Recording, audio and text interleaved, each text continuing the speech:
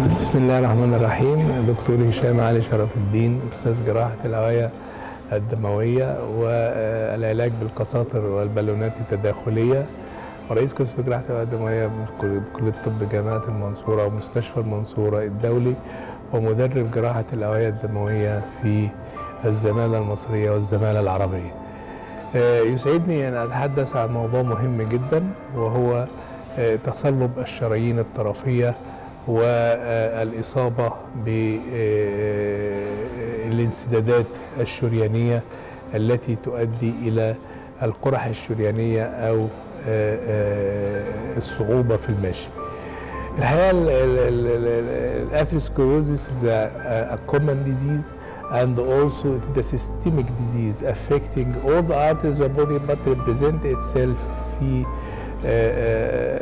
مكان معين. قد يكون cerebral arteries like ال extracranial carotid stenosis like coronary arteries زي ال acute coronary syndrome like renal arteries زي renal hypertension أو the peripheral arteries like the peripheral arterial disease إحنا بيهمنا طبعا في جراحة الاوعيه الدموية تشخيص المريض as global مريض كل وحدة واحدة. لابد من إن أنا أعمل investigation صح للمريض عشان أقدر أعالجه صح. إذا اشتكى منه عضو تداعى له سائر الأعضاء. فلا بد من التشخيص الصحيح والتشخيص الدقيق في ذات الوقت. إذا جاء المريض طبعا الشكوى الأساسية بيبقى ال intermittent claudication أي الألم أثناء المشي والحركة نتيجة ضعف الدم اللي واصل للعضلات الطرفية. وهذه الشكوى طبعا بيشترك فيها كثير من التخصصات وبتبقى misleading لبعض التخصصات بحيث إن التشخيص ما يكونش صحيح وبناء عليه يكون العلاج غير صحيح.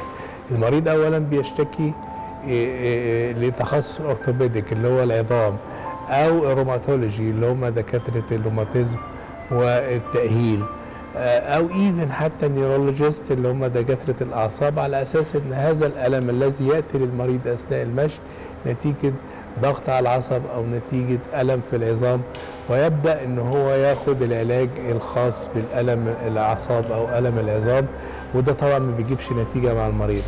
ال fatal mistake هنا إن يحصل تأخير في التشخيص إلى أن يحدث تغير في لون الجلد ويصاب المريض بسواد في الجلد يؤدي في النهاية إلى البتر. إحنا مش عايزين نصل إلى هذه الدرجة لكن المريض لابد you catch the patient at the reversible state of atherosclerosis and ischemia.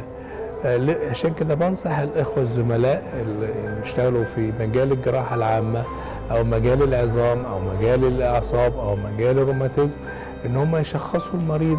مجرد ما يجي لك المريض بألم في رجليه أو شكوى إن هو بيتعب أثناء المشي خاصة لو كان في risk factors في هؤلاء المرضى زي مرضى السكر أو مرضى التدخين أو مرضى زيادة نسبة الكوليسترول في الدم لازم يلفت نظري إن أنا أحس الباس البالس أو الديستال بالسيشن سبيشالي اللور ريمب بالسيشن الانتيريور اند البيسيوتيبال ارث وانس إن أنا حسيت ال pulse أبدأ أعالج أي حاجة تانية بعيدة عن الشرايين. لكن لو ما حسيتش إن الشرايين لابد إن ألجأ إلى أعمل حاجة تشخص لي.